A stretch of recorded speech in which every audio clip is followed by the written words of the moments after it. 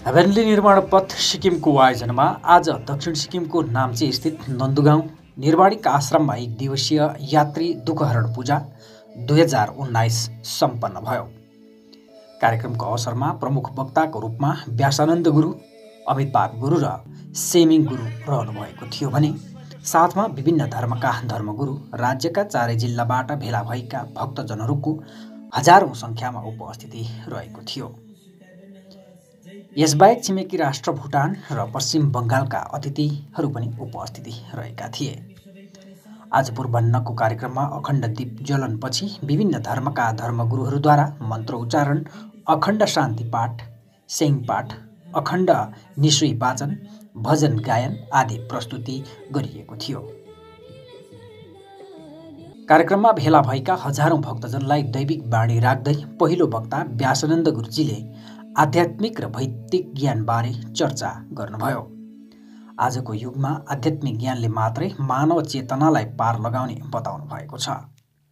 वर्तमान स्थिति असहज छ भनेर स्वीकार गरिन्छ तर आध्यात्मिक र भौतिक ज्ञानले मात्रै यस कुराको निर्क्योल गर्न सक्ने बताउनु हुँदै यो निर्माणिक पथ कुनै धर्म नभएर यो धर्मलाई बाटो देखाउने असल मार्ग रहेको बताउनुभयो।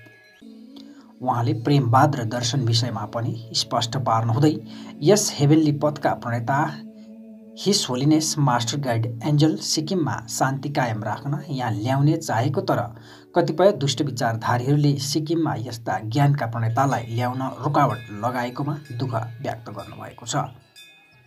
सिक्किममा हामी धर्म प्रचारका लागि काम गरेका छैनौँ तर सिक्किमको प्राकृतिक सौन्दर्यता प्राणी जगतमा प्रेमभाव हत्या हिंसा र नकारात्मक सोच विचार साथै नसालु पदार्थ सेवनलाई प्रतिबन्ध गरेर आध्यात्मिक र भौतिक ज्ञान अनि प्रेमवाद र दर्शनलाई मानव जगतको सुरक्षा विषयमा कार्य गरिरहेको बताउनुभयो।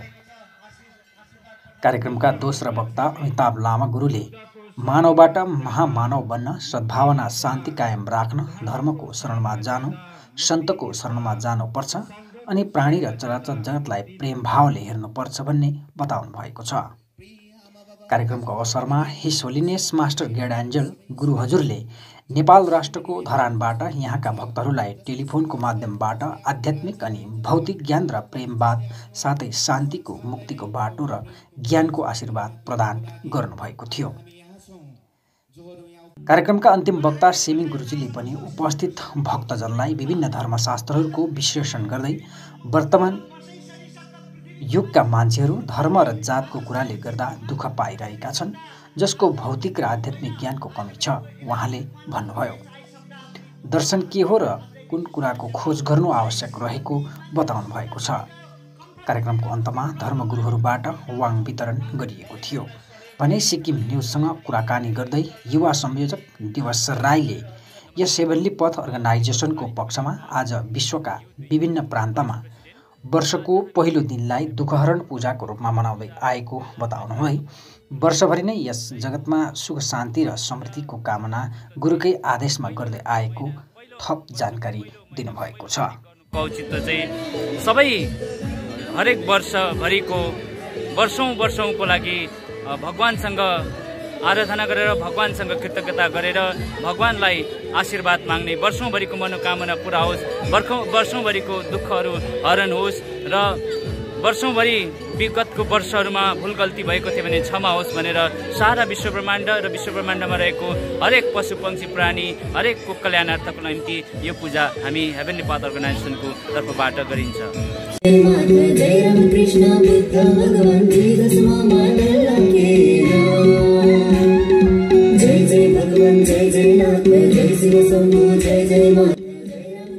सिक्किम न्युजको निम्ति नाम्चीबाट ब्युरो रिपोर्ट।